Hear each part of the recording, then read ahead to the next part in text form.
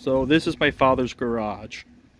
We want to get internet into the garage, but when we built it, we didn't have the foresight to run another uh, another underground uh, tube to bring internet. We just have uh, the one coming in for power. So to get power there, to get uh, internet there, we're using some power line adapters.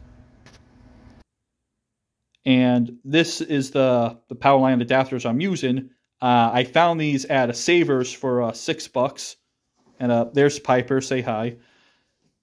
So with these, it sends the internet or really any like the Ethernet signal through the walls uh, to another place. So you don't actually need to run a new wire.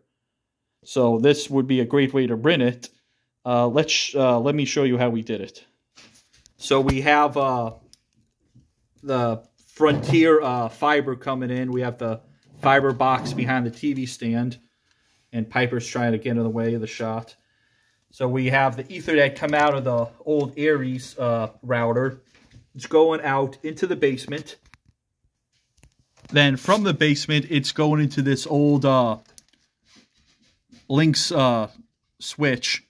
And I just need needed neated up this cable. But it's just to test it out. The cable we have coming over here to that power line adapter.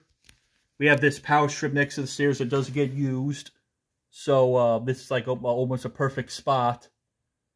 And it'll go down here through the power. Then I then that should just be on a circuit all by itself, or at least just for the basement. Go over to the the panel down there.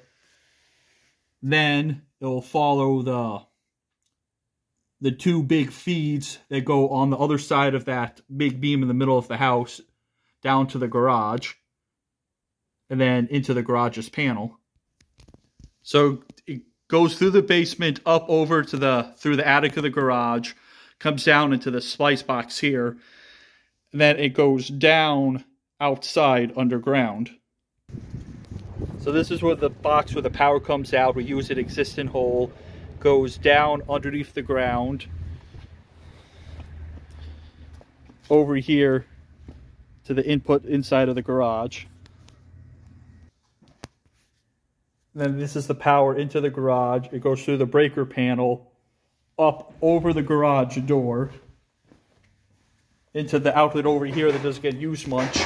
We have the other power line adapter here that uh, I'll use a shorter cable, but we have to go to here to this old uh, Netgear router. We're getting between like 35 and 40 megabits for like upload and download, which is perfectly fine for the garage. But now we have internet in the garage.